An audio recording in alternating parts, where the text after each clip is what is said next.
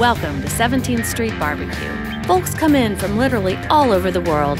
They all want to learn from Mike and me, one of the first families of barbecue. For each person, it's different.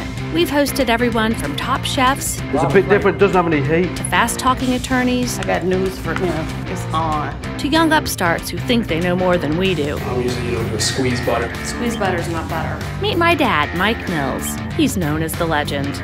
I joined the team 10 years ago and bring the polish to his spit.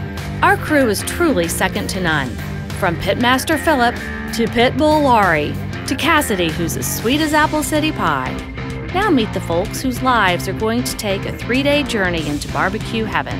Hi, my name is Nathan Kitts, and I own Rowdy's Smokehouse. My name is Glory Mack, and I am a criminal defense attorney. My name is Keith Marston.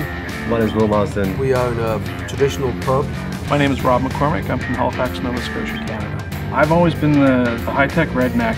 My name is Chris Calendar. I am currently in the process of opening the Victory Smokehouse. This season on Peace, Love, and Barbecue, we're going to see each of these folks take some lumps, learn some lessons, and become part of the 17th Street family. So be sure to subscribe to Peace, Love, and Barbecue so you don't miss a lick.